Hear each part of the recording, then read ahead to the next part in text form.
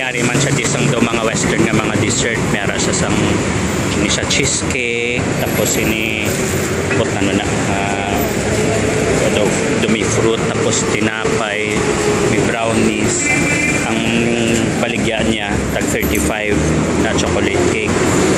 35 each pero kung baklon mo nga ah, tatlo kabilog 100 so bali doon nagayo